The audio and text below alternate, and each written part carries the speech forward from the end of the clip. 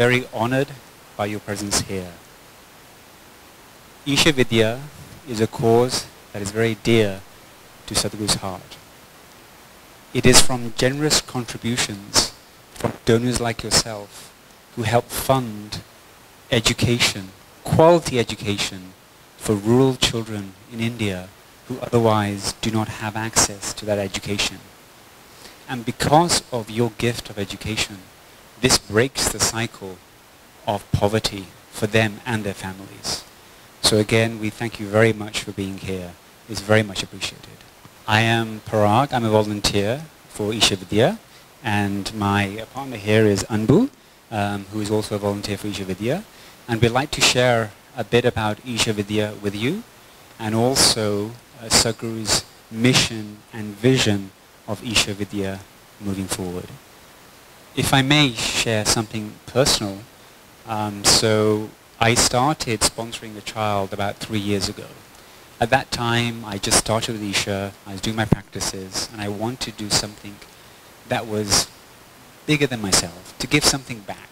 You know, I feel that I live a very privileged life here in the United States, and I want to do something back uh, for India and the children there. So I donated and online, and I forgot about it. Two, three weeks later, I get an email from Isha Vidya saying that they had assigned a child to me. And when I opened that attachment, a photograph of that child appeared. And with that photograph, there was a short description of where that child was, where he came from, who his parents were. And then I had this visceral reaction that my donation is helping this individual. I felt a connection with him that I can't describe. Since then, throughout the year, the child kept in touch with me. Uh, they send you report cards. Uh, I got a picture uh, that the child had drawn. And with that, I kept my connection with him. And I kept on thinking, I need to do this more. So in the end, we started sponsoring more kids and more kids and more kids to the extent that I have an eight-year-old son. And my son said to me when I was online, you know, looking at Isha Vidya websites, he said, you know, Papa, what are you doing? So I explained to him what we were doing. And at that time, he was, I think, six or seven. And he turned to me and he goes, Papa, so I have brothers and sisters in India?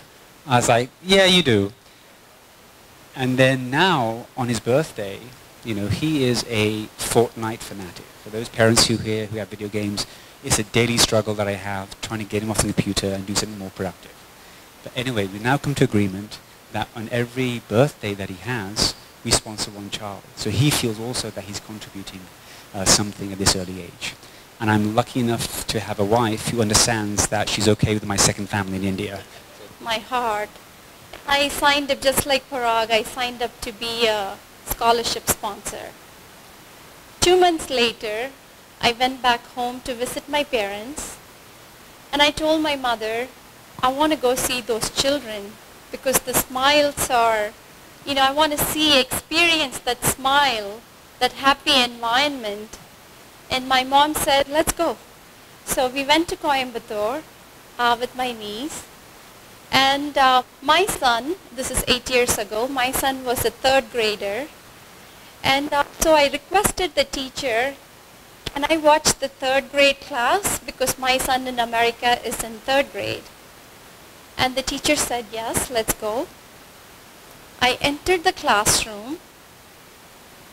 Within seconds, the children got up and said, Namaskaram, in chorus voice, in one voice. And then right back to their class. You know, they knew there was a visitor in the class, but they went right back to the class. I'm watching the class, the teacher, they're, you know, like so interacting with the teacher at the end of the class, the teacher introduced me and she said, this is Anbu. She's a volunteer. She's come from America. She wants to talk to you. I'm unprepared to talk to the third graders. And uh, I speak uh, Tamil. So I started to speak in Tamil. And the teacher said, well, you come from America, speak in English, you know. And uh, I studied in Tamil medium. Back home, I studied in Tamil medium. Even though I went to a very good school, I couldn't speak a word of English until I came here. I came here to study masters here. I could hardly speak English. Um, I'm an engineering student. And so I'm hesitant to talk to the kids in third grade in English. But the te- te- teacher said, talk to them in English. So I introduced myself and I said, I'm Anbu, I'm a mechanical engineer. I work for a car company. And uh, one child got up and said, which company? I'm like, would they know General Motors if I said General Motors? Um, so I said, then I realized GM has a presence in India. They make the Chevy. So I said, oh, the one with the plus sign. You know, I didn't even say the brand name. I said the one with the plus sign. One kid got up and said, Chevrolet. You know, they, they say it's Chevrolet. I said, yes, you know that. I said, like, yeah, we know Chevrolet. So they, one child asked me, what do you do? I said, I'm a mechanical engineer. I work in an assembly plant, work with people and robots, and we put the parts together and we build these big, large SUVs. It's really a pleasure to be here. I, I just, um, I'm, I'm honored uh, to be invited and to be a part of this wonderful organization uh, in support uh, of the great work that Sadhguru is doing, um, as well as Isha Vidya.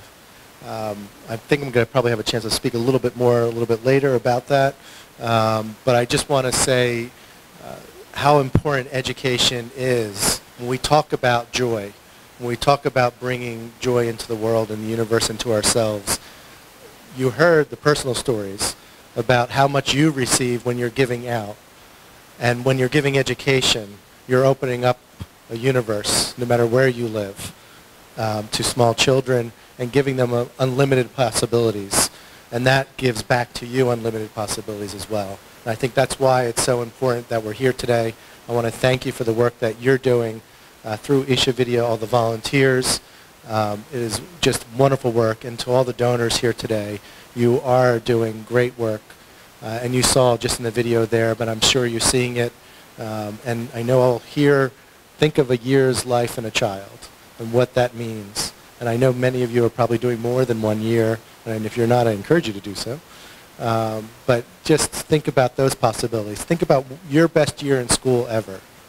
And think about all the joys that brought you and the possibilities when you were able to dream beyond what you had at that moment and where you came from. And think about that's what you're giving as a gift uh, and that joy. So I, I want to thank you on behalf of the state of New Jersey. I'm honored to be here today uh, and all the new friends that I'm making. And I do look forward to golfing next year as well. Thank you so much. So without much ado, we would all like to call the person, the man who makes this happen. You know, this all this started in less than a month, and uh, it is his. When his name is behind this, I think success always follows. So I learned this uh, taking up any initiative. So I would uh, like to invite uh, Sadhguru Uh, on the stage here.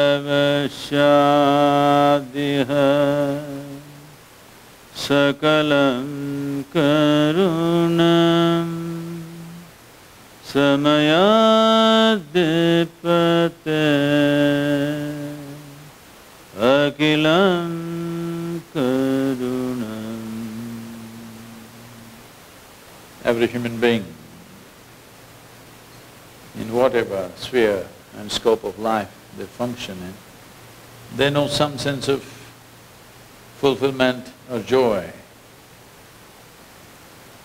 only when they approach it with some sense of passion, whatever it is. Whether passion just for one person or larger things in the world, doesn't matter. Essentially, is one's involvement, a passionate involvement in something which makes the difference.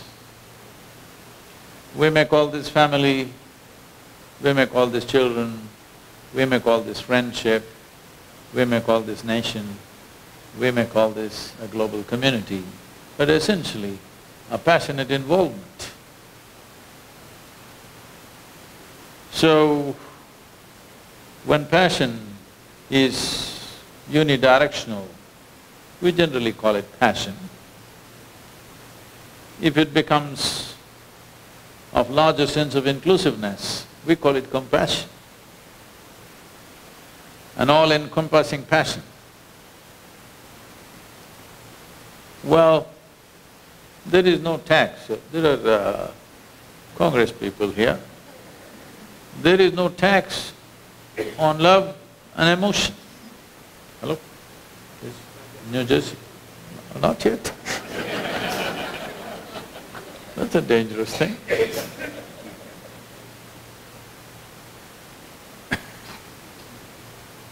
So, uh, the sweetness of emotion, every human being should know. People know a little bit of love, anger, hatred, jealousy, fear, all kinds of nonsense going on. Our emotions are made within us. Hello? Is it made within you? Your emotion is manufactured within you. At least what comes from within you must be the way you want it. What comes from the world need not necessarily be the… be the way we want it because so many people are involved. Maybe they want to abuse you, maybe they do, at least they may do to me all the time But uh, what comes out of you must be the way you want it, isn't it? What comes from within you must be the way you want it. I'm sure if you are given a choice, what comes from within you, you want it to be at highest level of pleasantness, not of unpleasantness. So, Ishavidya is uh, an effort by a group of dedicated people. They think they're volunteers, but uh, I'm actually a slave driver, making people work twenty hours a day, seven days of the week, 365 days, non-stop, non-stop going. Today, we are over 4,600 full-time volunteers, all of us working seven days of the week, 365 days, on an average between sixteen to twenty hours a day, all of us. And there are over nine million volunteers who are working part-time and contributing in many ways to support this activity. The activity ranges from nourishment, health, education, environment, and above all, uh, a non-denominational spiritual process approaching human well-being as a science, as a technology. For a long time, human beings have tried to address their well-being with their belief systems, with philosophies, with ideologies. But a time has come where more people on this planet are able to think for themselves than ever before in the history of humanity. Never before this many people in the world could think for themselves. They're thinking right, wrong, we can debate, that's not the point, but they're thinking. Just hundred years ago, in most societies on the planet, women were even punished just because they thought for themselves, not because they did something. They think for themselves always drew punishment. So straight up, fifty percent of the population has come into the thinking process. So never before in the history of humanity this many people could think. This means, since some sort of logical structure has entered everybody's minds. You may think somebody is illogical, but in their mental framework, they have their own sense of logic. So once a logical framework establishes itself, illogical aspects will collapse. So people are hanging on to a few things, but philosophies, belief systems which lived for a long time have collapsed in many ways in people's minds. Just in… they've kept it as an archive, just in case if the airplane they're traveling in goes into a bad turbulence, just then they think God. Rest of the time, they are… Hello? They're on themselves because this is the nature of a thinking mind. The more it begins to think, the more that cannot be substantiated will start collapsing. Right or wrong is not the issue, but you just cannot believe anything once you start thinking. You… you hang on to things because there is fear, there is insecurity, there is uncertainty about life. Because of this, largely people are keeping their belief systems like insurance policy. They do everything possible, but just in case if things go wrong, I have also paid my premium. Why I'm looking at this right now is, a time has come where you cannot satisfy people by making them believe something. You can to some extent, but beyond that point it'll not go. Today it is time we approach this human mechanism because this is the greatest piece of technology on the planet, no question. How to conduct this in such a way that this will generate what you want, not what somebody provokes. Not the situations will not decide the nature of my experience, but I will decide the nature of my experience. This needs to come. Why this is important is, just to give you some perspective, in 2017, we have produced enough food for about 21.5 billion people. But we had only seven billion people or little more than that. But still thirty percent goes hungry on this planet. Still forty percent of humanity is badly malnourished, but we are producing four times the food that we actually need. Every one of us need to search within ourselves, Wh why? There is no food, somebody is starving, what can we do? But if there is food and somebody is starving, there is something wrong with us, isn't it? Hello? Somewhere our humanity has gone into storage. It's not active.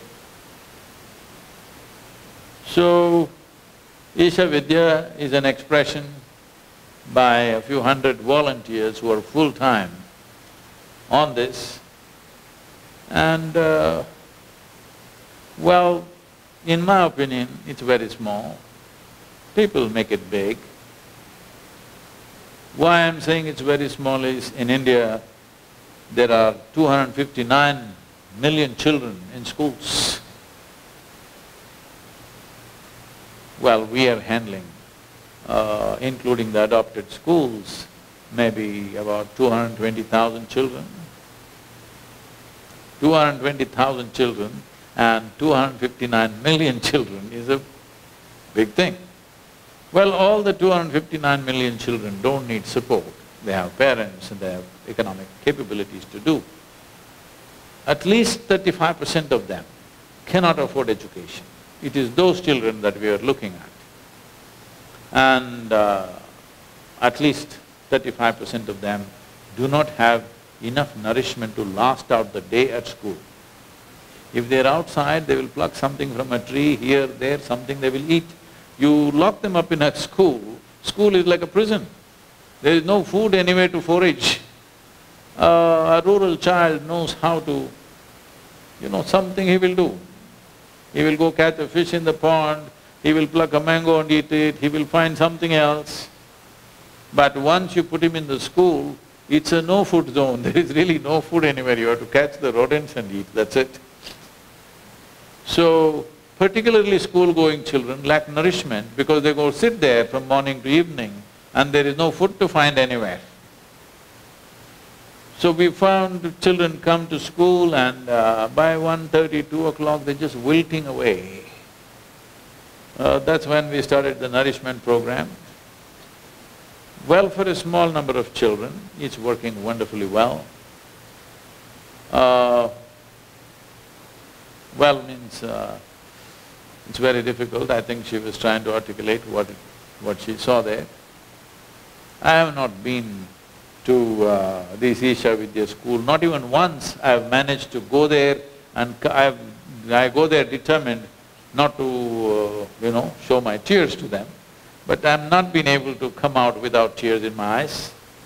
Simply the joy of uh, being there is so incredible because the parents are in abject poverty, these children, uh, nearly sixty percent or at least forty-seven percent are first generation going to school and the way they're blossoming, the way their enthusiasm, they're wanting to know and learn, uh, just… you… you just cannot come out of that place without tears in your eyes So, this entire process has been happening in many different ways. Many individual human beings, corporations and others have been supporting. There are various efforts in the country, but unfortunately, for the last 15, 20 years, many efforts which are essentially towards literacy is being passing… is passed off as education. So I was determined that I'm not interested in literacy. What is the point signing your name? You can as well put your thumb imprint. Anyway, once you have digital stuff and all, they're asking for thumb impression, nobody is going by your signature. Hello? Even your iPad is asking for thumb imprint, if you go to the immigration, they're asking for thumb imprint. So what is the use of a signature? Just to learn to write your name, spend five years, uh, try, manage to read two sentences. I think it's of no significance, we need proper education.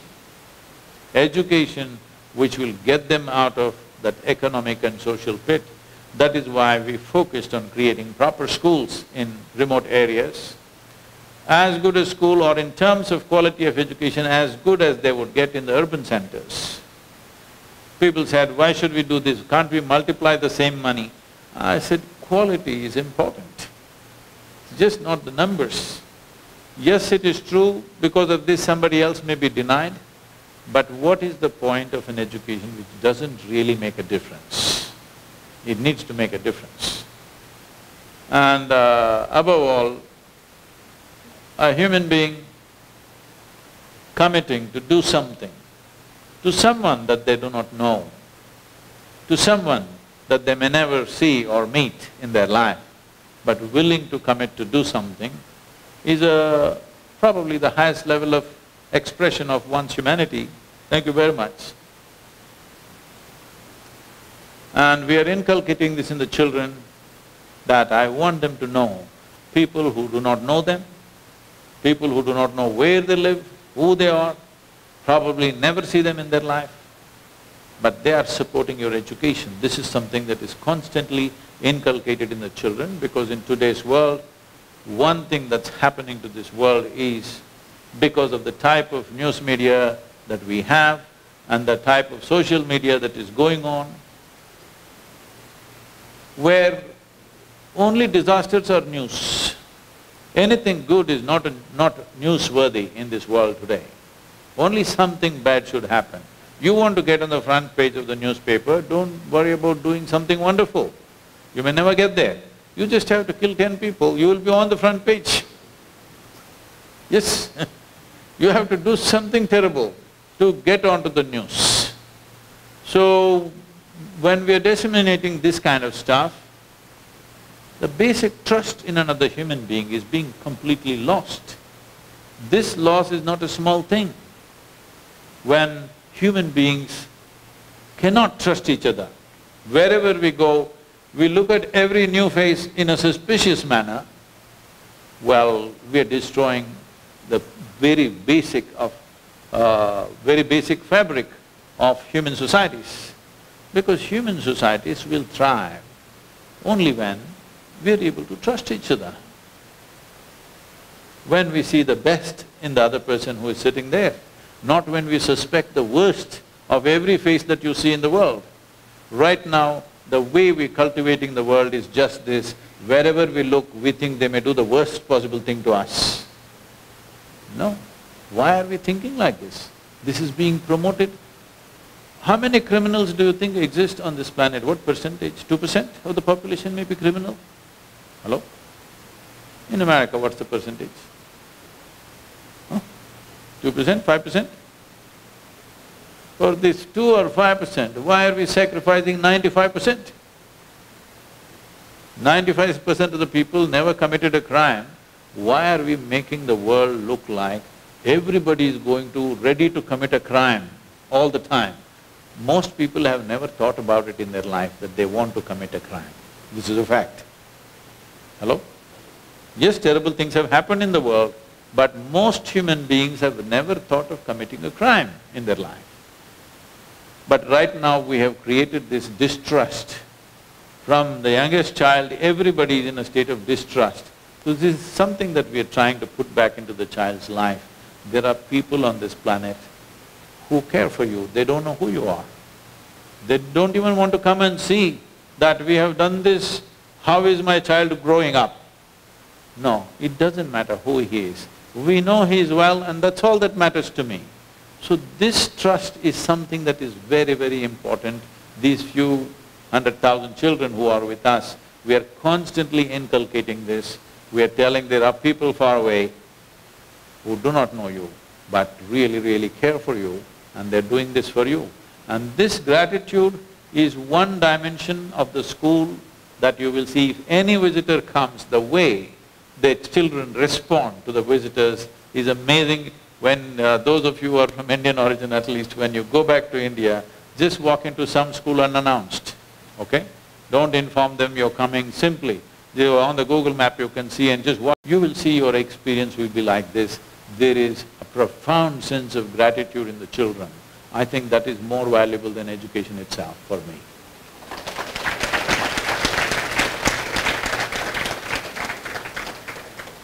So thinking a bit about the work you're doing in India and here in America, I've heard you speak uh, a lot about teachers and principals and the importance of educators in this mix of um, supporting children.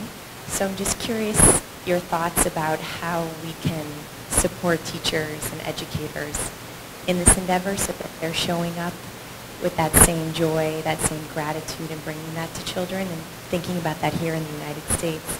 How are we supporting teacher well-being so that we're creating environments of flourishing and thriving in our schools here and uh, in India as well? There was a gypsy in India.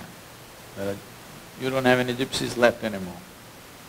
We still have them. Some tribes, which are gypsy tribes, which are nomadic and constantly moving.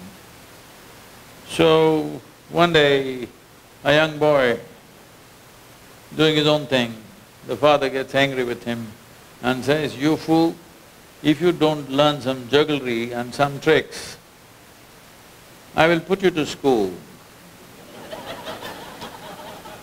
and you will become an educated man and you will suffer from endless want.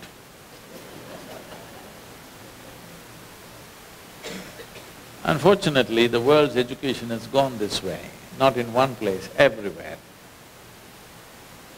I want you to look at this.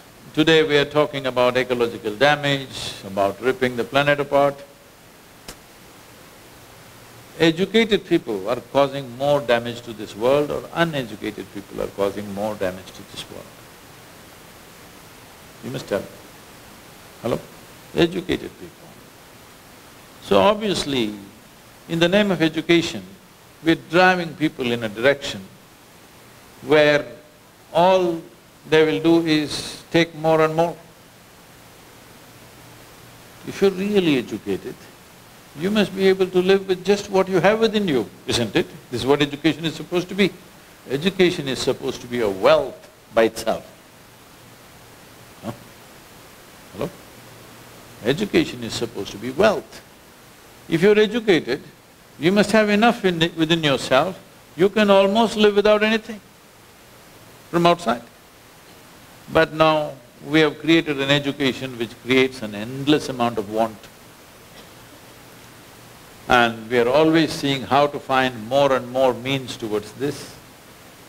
I'm not here to propound a philosophy for you, but all I'm saying is, education in the world has taken a wrong turn, everywhere. Education is no more about enhancing human horizons. It's about how can I get more. It's all about that. If you don't change the context of this, the content of the education is not important, something we have to impart.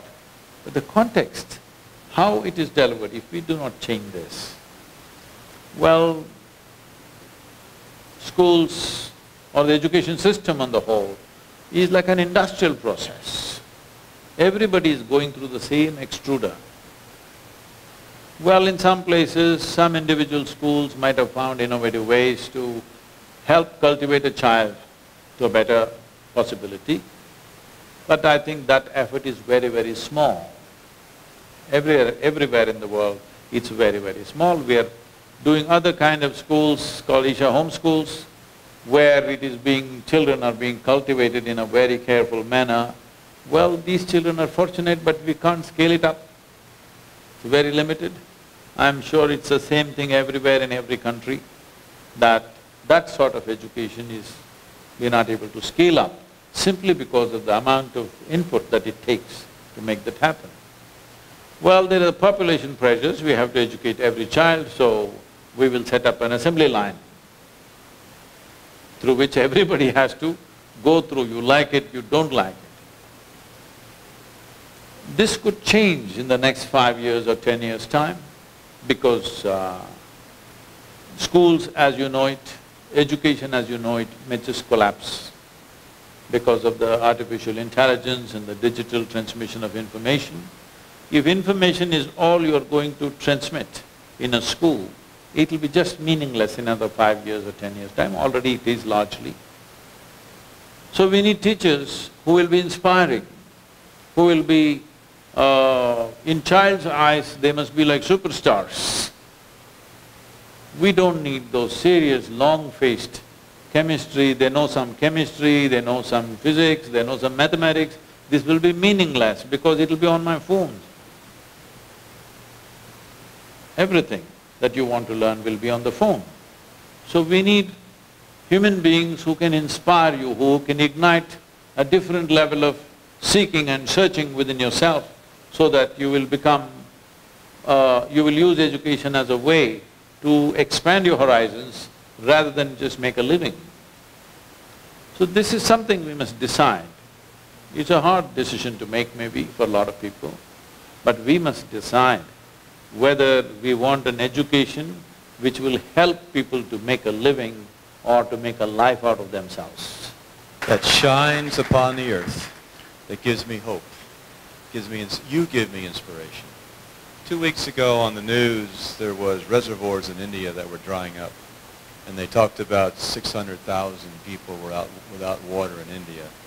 And I kept thinking about what you do with the Rally for Rivers.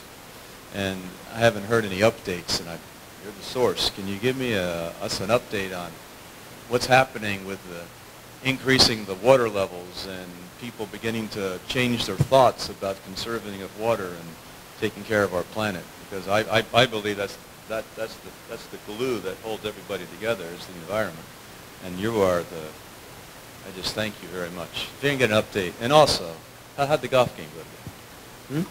How did the golf game go today? Uh, I was playing with too many people But she took away my clubs. Got a good price for them. Well, uh, for those of you who do not know anything about it, I'll just introduce this a bit. Rally for Rivers uh, It's been on my mind for more than fifteen years, but I never spoke to anybody. I'm made like this.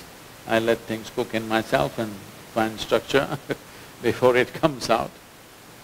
So in 2017, I announced a date fifty-nine days ahead of time, exactly fifty-nine days. And for the first time, I spoke to the core group and said, uh, we need to do a rally like this to rejuvenate India's rivers. And uh, mentally I've written a policy, somebody needs to sit with me and write it down. Uh, they said, uh, this is a nationwide movement, Sadhguru, how can we do it in fifty-nine days? I said, we have to start on this date, it has to go. So the whole organization went into a circus across the country. So we decided to cover sixteen states, starting from the southern tip called Kanyakumari to the Himalayan ranges. I decided to drive myself personally. So I personally drove nine thousand three hundred kilometers in twenty-nine days of the rally.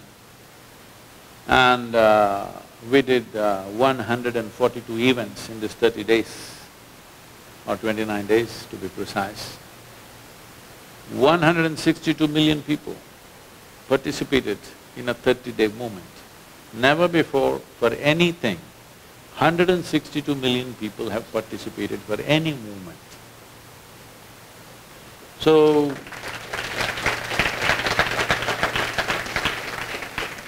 essentially what I realized was, as I drove through the country covering sixteen states with six different political parties ruling these states at that time, and all of them willing to come… Usually these opposition parties never agree upon each other, you know what I'm saying. uh, in India it's little more kid up So, uh, six different parties from this political spectrum of India, all of them in one voice supporting me and participating in the Rally for Rivers. And along the way, these millions and millions of people participating, incredible level of support. I suddenly realized everybody wanted this to happen.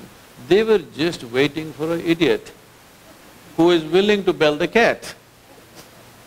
And the moment I stood up, everybody was there wanting to support it uh, so there it was.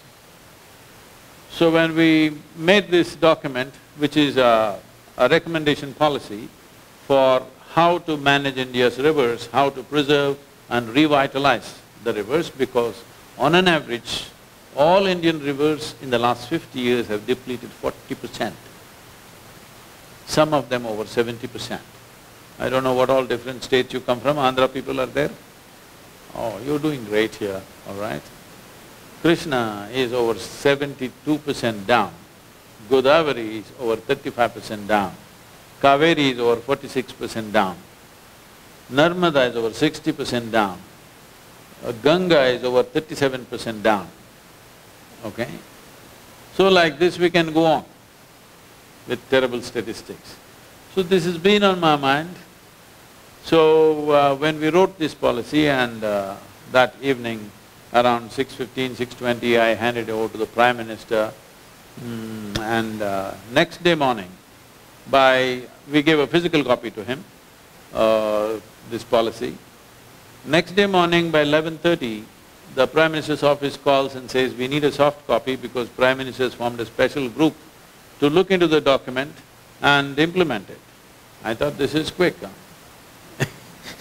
this is really quick because in a democratic country, it is the number of people that you gather which will determine these things. 162 million people, when they saw the support, every government immediately stood up and said, yes, this needs to be done.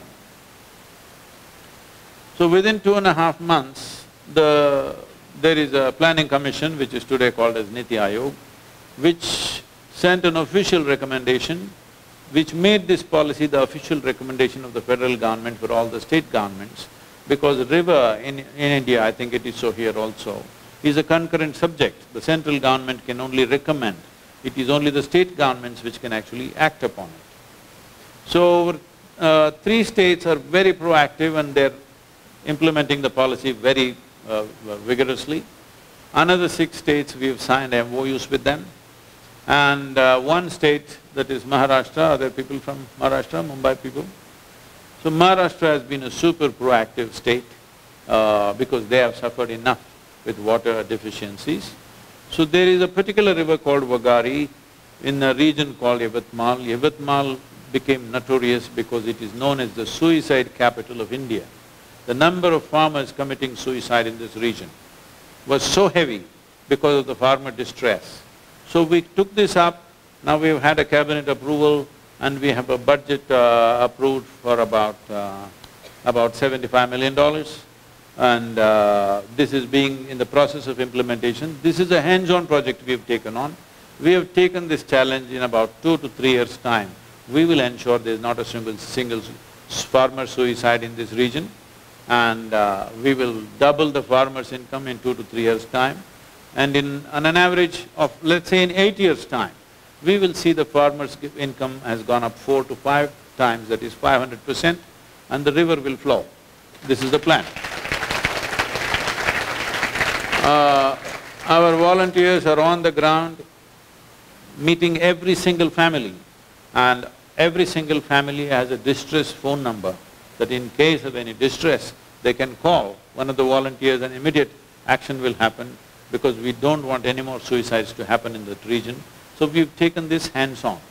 The next level of project right now is, uh, it is, uh, since morning I've been on the phone from very early in the morning endlessly because now we are crafting a next level of program called Kaveri Calling. For those of you who come from Karnataka and uh, Tamil Nadu, you know these sta- two states are constantly at loggerheads with each other, fighting for Kaveri water. How many of you Kannada and Tamil people? Okay. Tamil people think Kannada people are drinking up too much water.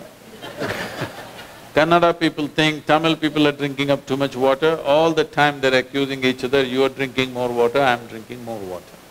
This is a simple process. See, uh, in this table, each one of you have your own glass of water, so you all sit there in a very civilized way. Suppose there was only one glass of water for all of you, fighting would happen or not? Hello? It will happen. Inevitably it will happen, isn't it? So this has been happening. Kaveri is very dear to me because I grew up on the banks of Kaveri and I spent lots of time in this river. Once I floated down the river for about 165 kilometers, thirteen days. I was on the river, just four truck tubes and a few bamboos. I floated down, I lived off the river. In my experience, this river and this region, I did not see this as a water resource or something. I saw the river as a life much larger than me, a mega life which has been there for a million years. People like you and me come and go, but rivers and forests have been there forever. It is because they have stayed alive for so long, we come and go. If they are not there, we cannot even come and go. So when I saw that Kaveri has been depleting, the scientists and activists, not activists, the scientists say Kaveri has depleted by forty-six percent. But they are taking the monsoon time flows also, they're taking the overall average and saying forty-six percent. But in the month of September, October, if you look at Kaveri, how it was 45, 50 years ago when I was close to Kaveri, how she is today, she's twenty-five percent of what she was then. So people are wondering why there is water shortage. I'm wondering why they don't realize that we've been working hard to destroy everything around us. Just to give you some understanding of this, in the Kaveri basin, in the last fifty years, we've removed eighty-seven percent of the green cover. What is the plan, I don't know. In the Ganga belt, for example, Ganga basin accounts for twenty-five percent of India's geography and uh, thirty-three percent of India's agriculture.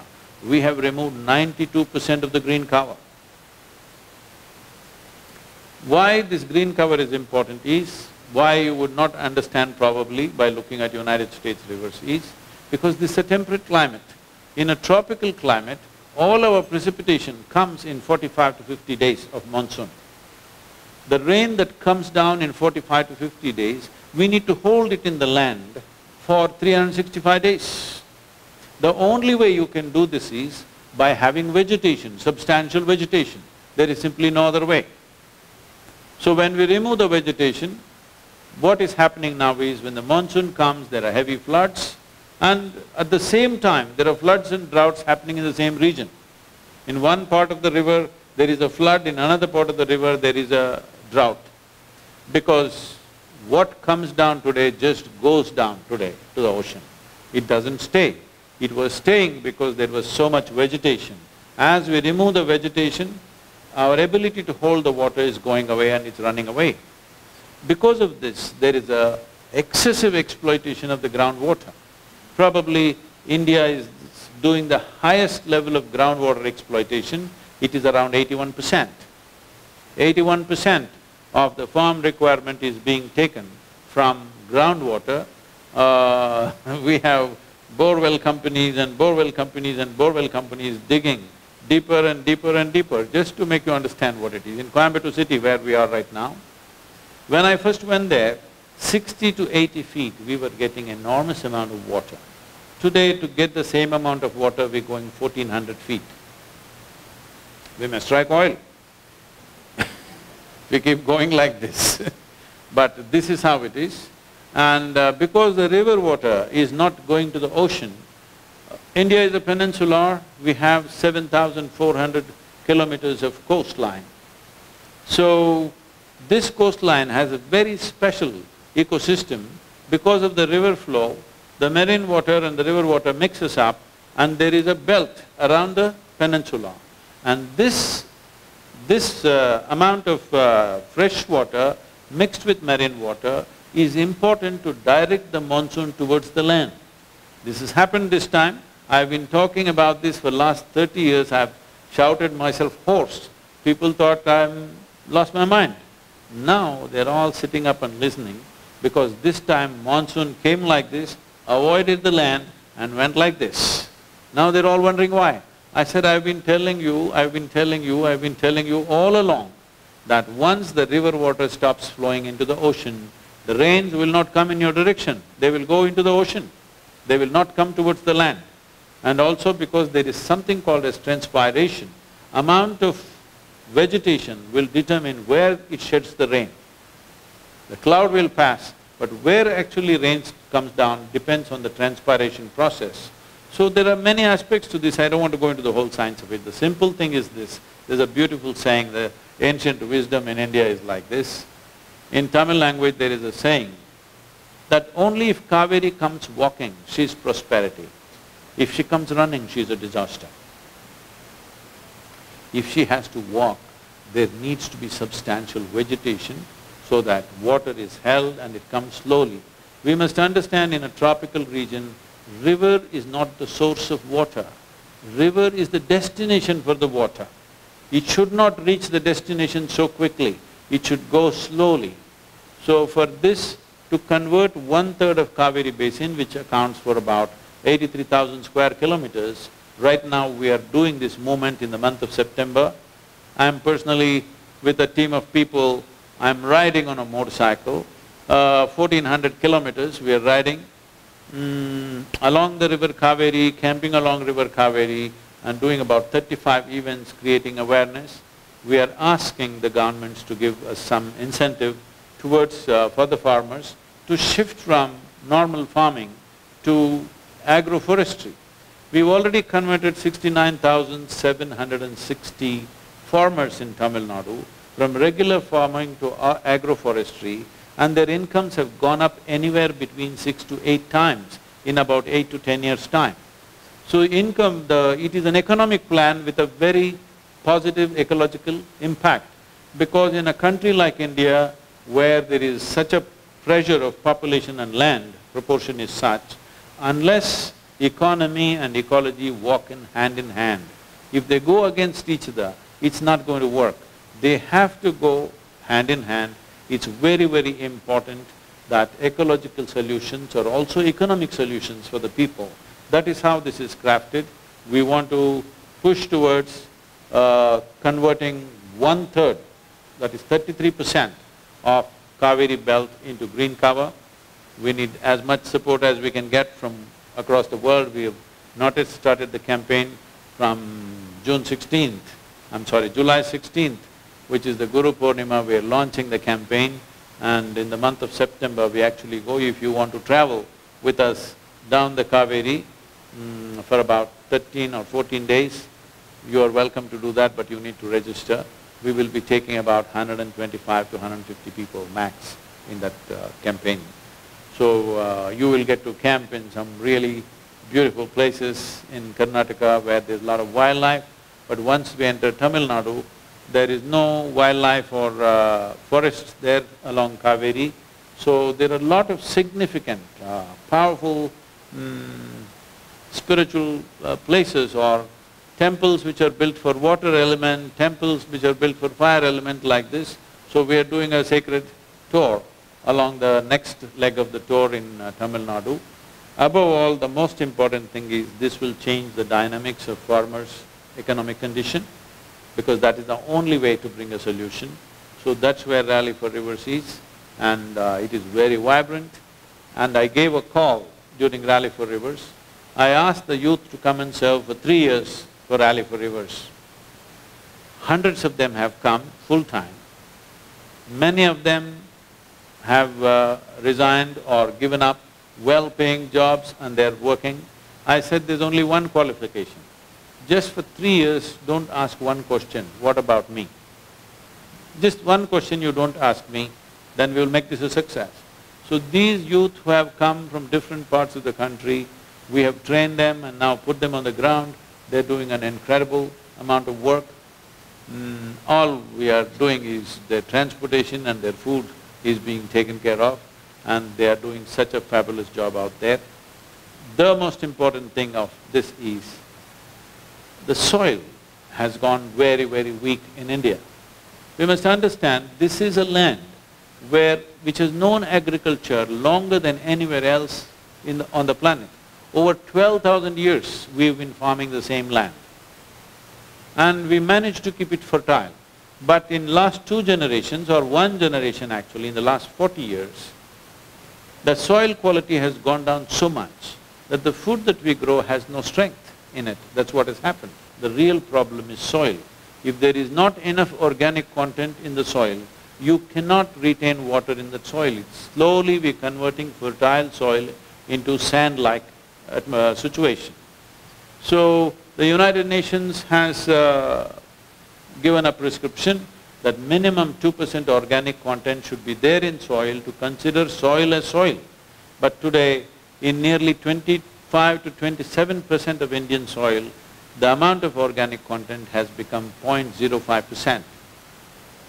Sixty percent out of one hundred and sixty million hectares of arable land, hundred and four million hectares of arable land is right now being labeled as distressed soil with 1.4 billion people, what is the plan?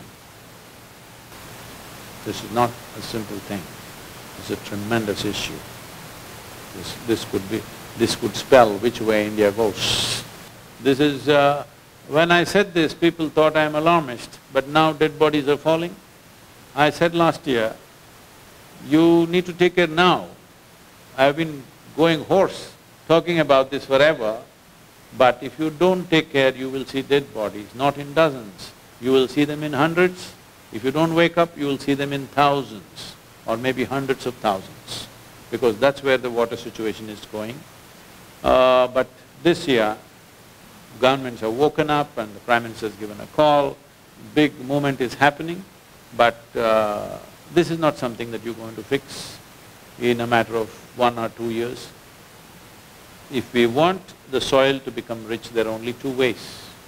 Leaves from the trees and the animal waste. There's simply no other way to put organic content back into the soil. Trees have gone long time ago, animals are all uh, traveling abroad. Yes, uh, India has become the largest beef exporter. If you say one word, people think you're religious nut. yes, if you if you try to talk about it, people think you're some kind of a religious nut. uh, because you don't want cows or this. So we are pushing for a law.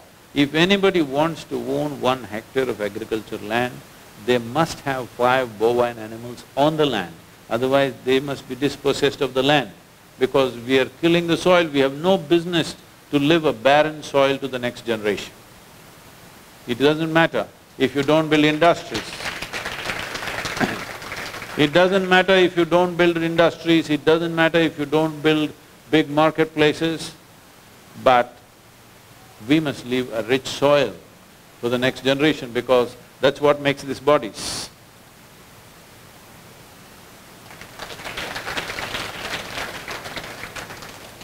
how can we resist not comparing ourselves with others and how not to always seek approval from others? This is a, an ailment we are cultivating from a very early age. Because uh, even in a kindergarten school, somebody is first, somebody is last and somebody is one, two, three. So you get this problem that I want to be number one. I don't know, what is this pursuit about the smallest number in the numeral, you know, in the mathematical? If you said, I want to be a million, I can understand. I want to be one. Very small aspiration. so, uh, if uh, you are number one, what about the rest? So you essentially enjoy other people's failures. When you thrive on other people's fa- failures, I don't call that success, I call that sickness. What do you think? Hello? Well, I want to be well, this is not a problem. But I want to be better than you, this is a problem. Because you cannot be better than anybody or worse than anybody. Human experience of life is not determined by what you have or what somebody thinks or not.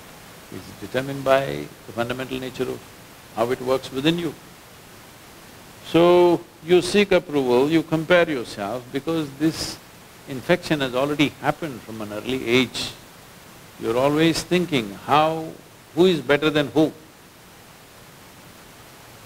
Have you found another person exactly like you on this planet anywhere? Hello? You're a unique creature, aren't you? And uh, that is the saving grace. Just imagine, if there was one more person like you in your home, could you live there? Hello? One is too much, isn't it? So when you're such a unique creature, what are you trying to compare yourself with somebody with?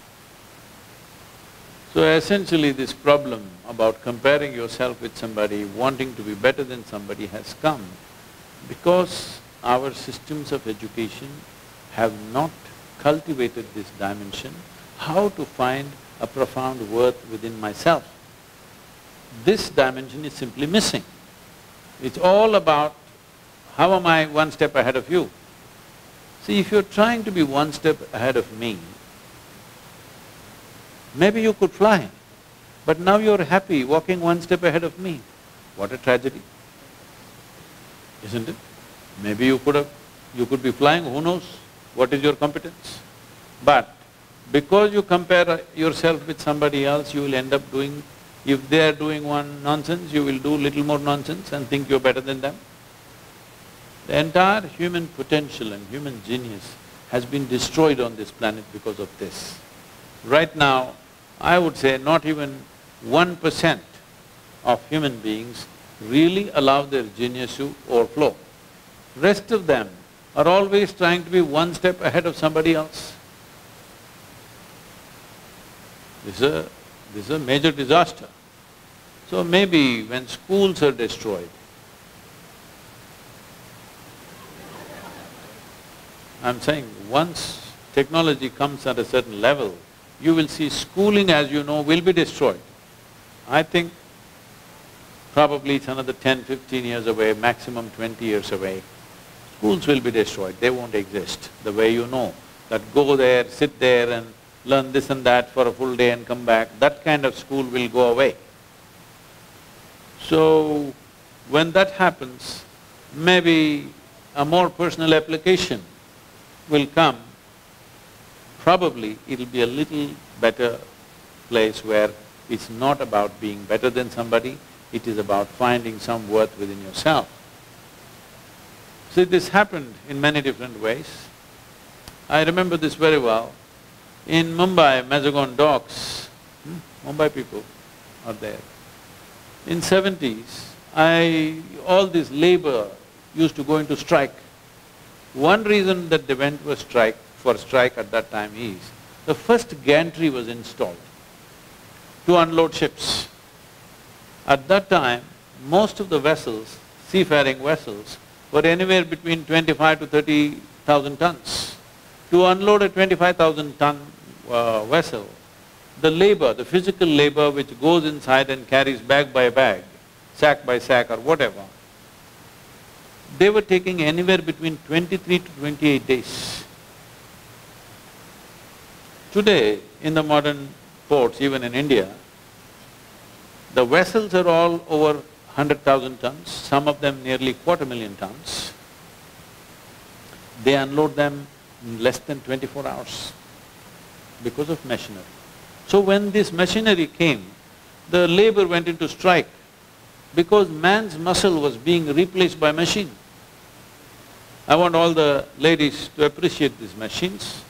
Only because of these machines, man's muscle became irrelevant and that's why all of you sitting here. Yes, yes. If man's muscle was supreme, whoever had the big muscles would be the boss here. We would make you the king if you really had big muscles at one time. Today if you have big muscles, at the most we'll put you at a security job outside, at the gate. So now memory has taken the… memory has taken the place of the muscle. Today, if you read ten books and remember, we'll call you a scholar. If you just read one book, you become a religious person and uh,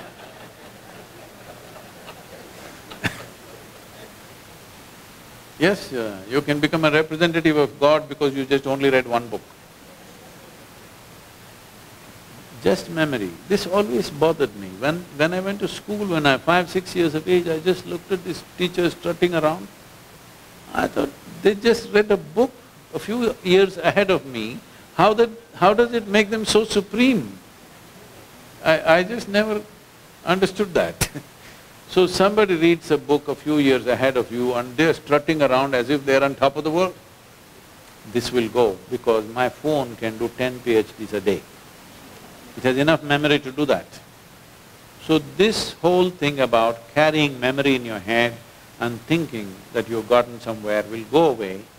Why I'm saying this regarding your question is, somebody can remember a lot of things. Somebody cannot remember so many things. This should not decide who is better than whom, isn't it? Right now, the biggest mistake our education systems have made is, we have made people misunderstand memory as intelligence. As machines come, you understand memory can be stored, what you can store in your entire brain, a machine can store it in a small piece of something. Yes? Yes or no? So, as man's muscle become… became irrelevant, your memory will become irrelevant. So then what do you think will be the most important thing? What kind of a human being you are will become the most important thing. Wonderful times coming, huh? So, with yourself, why are you bothered how somebody else is? You should have no time for anybody. There is enough work to do upon this. Hello? Yes or no?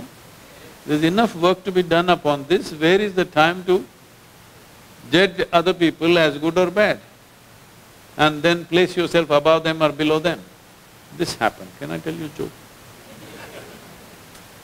A lady went to the butcher's shop and uh, she went to those chicken which were hanging upside down. You know, for a chicken, its feathers are its dress. But we pluck them out and then we say it's a dress chicken for some reason. So they dressed them up like that and they were hanging upside down. So this lady went, lifted the wing, smelled and wrinkled her nose, lifted the leg and wrinkled her nose, like this she was going from chicken to chicken. It was having an effect on all the other customers who were there. So the butcher saw it is having an effect on the customers, so he went and tapped on the lady's shoulders. She turned around. He said, ma'am, can you pass a test like this? So don't put anybody to test that you yourself cannot pass, all right?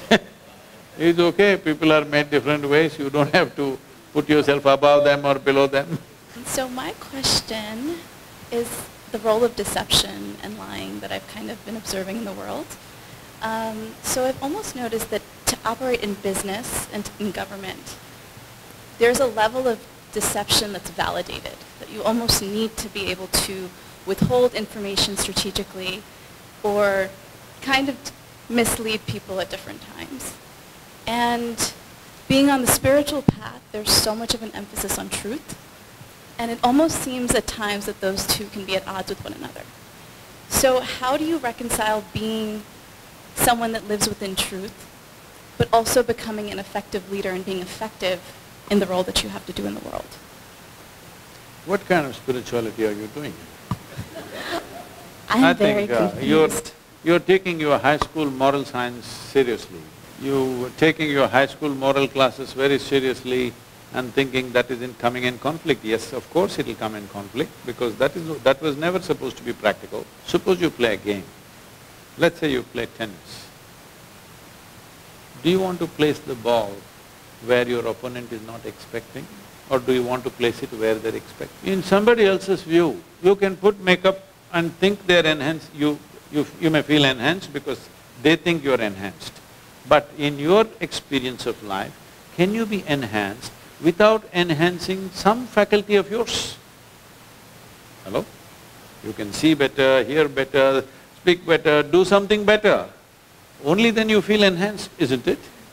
Hello?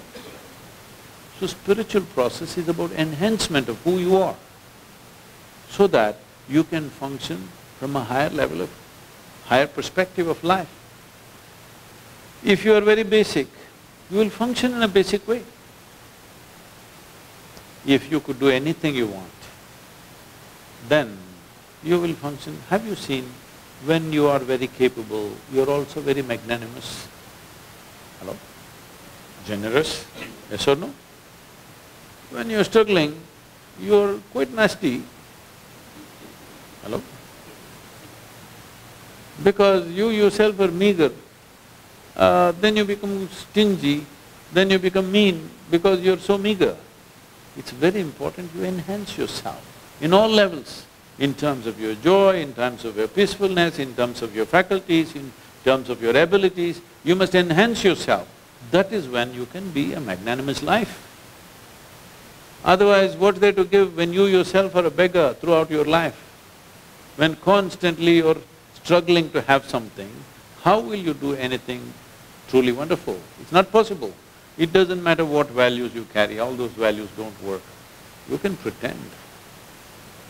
You can pretend in small ways. You cannot really do anything big unless you are enhanced within yourself, isn't it? So enhancement will not come, uh, if it happens, then you'll play the game well, you will enjoy.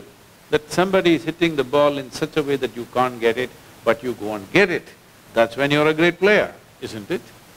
So that's the same in business, that's the same in government, that is the same in international transactions. Everywhere that's the whole thing because they want to hit the ball in such a way that you can't get it. If you can't get it, you have not strived to enhance yourself. The problem with most people is they are trying to enhance their activity without enhancing themselves. If you enhance activity without enhancing yourself, of course you freak with every… at every turn that happens in your life. See, successful people are freaking their minds out simply because they have upped their activity without upping themselves. Without upgrading this one, you upgraded the activity, it's freaking the hell out of you. If you upgrade this, then activity will upgrade itself, you don't have to do anything. It's like, what do you drive? Suppose you got a bicycle, going, nice, it's good exercise, that is nice. But suppose you bought a Ferrari, suddenly you don't have to bother about speed, if you touch it, it goes. Huh? Really, you don't have to do it. Simply if you touch it, boom, it'll go. Why the machine is enhanced? If you enhance this machine to the highest possible level, you don't worry about enhancing activity. Activity will get enhanced by itself. Now you're trying to enhance activity without enhancing the machine. If you fail, you will suffer, if you succeed, you will suffer. Thank you very much. I think people are hungry for dinner. Thank you.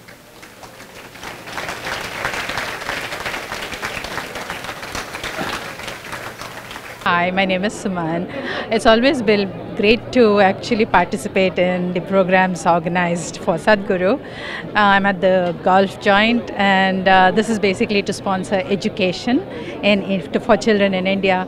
And it has been uh, really great, um, the work he's been doing, and it really, I think, um, helps me want to do more for them too.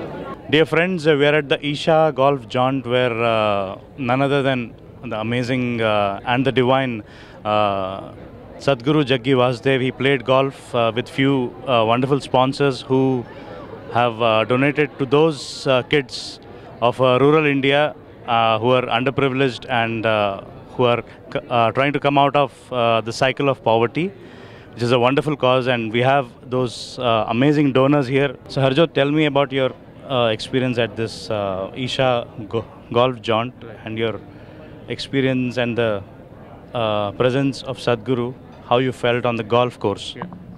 So first of all, you know, we don't have words to express our gratitude and appreciation uh, for Sadhguru to let us be part of an initiative, something which is so close to his heart. Uh, so anything which is important for him as his disciples and devotees is important for us as well.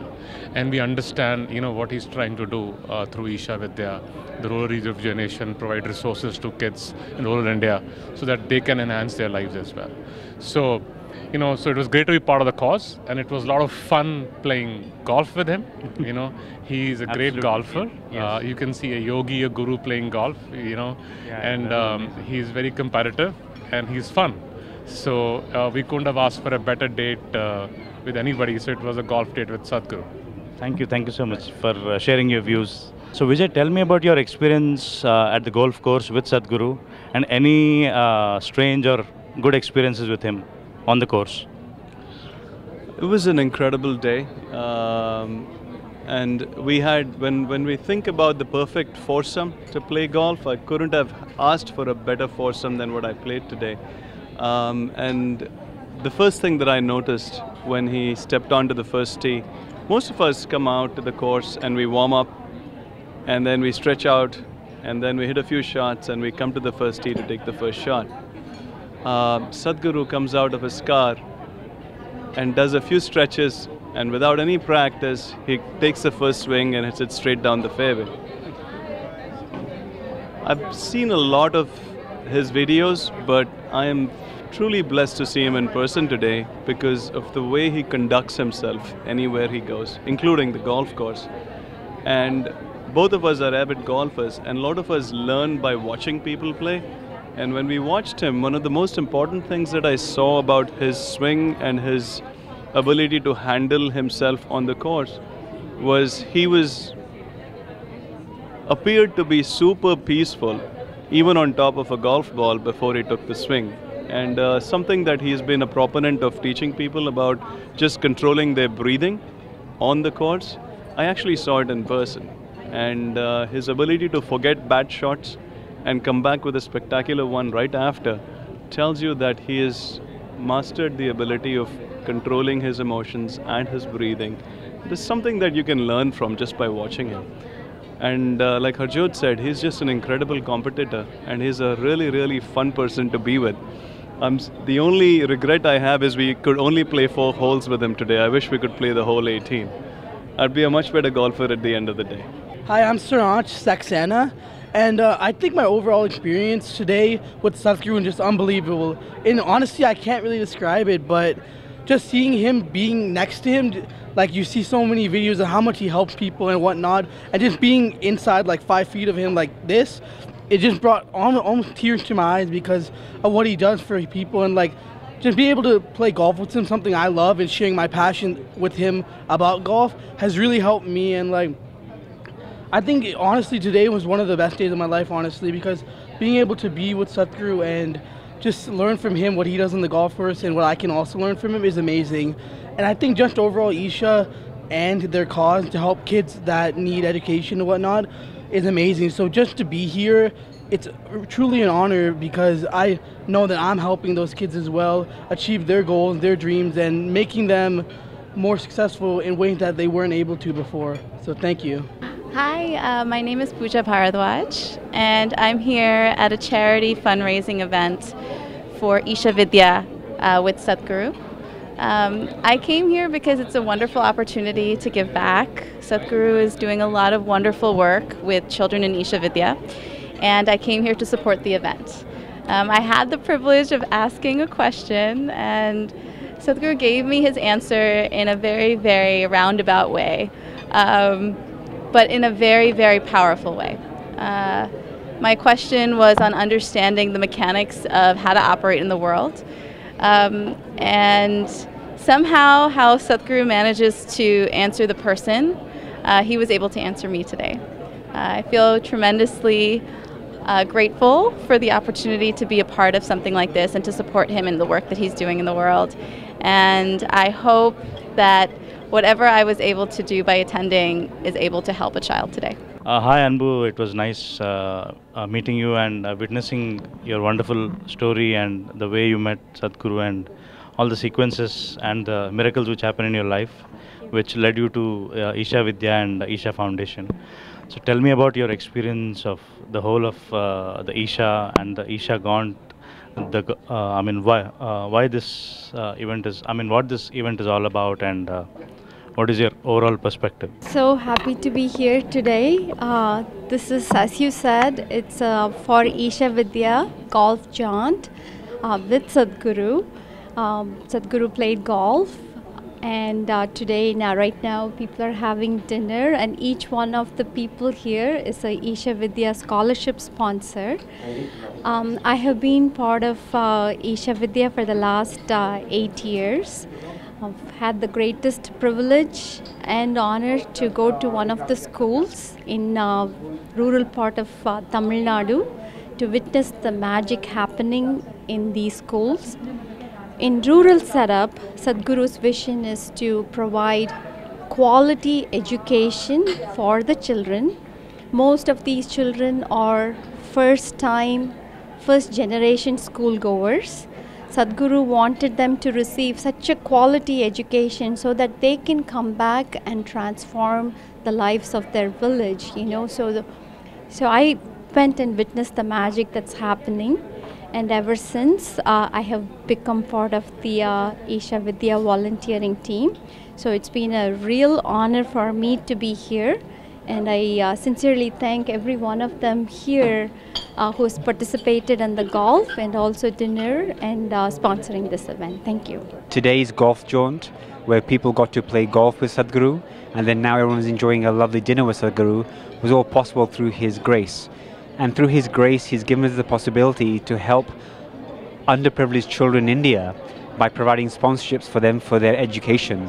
At Isha Vidya, we like to provide a quality education to rural children so that way we can help them break the cycle of poverty by giving them the gift, the tremendous gift of education. And that's what today's all about. Uh, that's why all the people here came out to support Sadhguru and Isha Vidya, and everyone I think has left a little bit changed and transformed, and will continue to support all the good works he does with Isha Vidya.